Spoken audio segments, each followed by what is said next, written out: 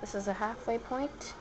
The evaporated milk is still there and the caramels are not melted, so it's still pretty watery. But next time it will be complete caramelly.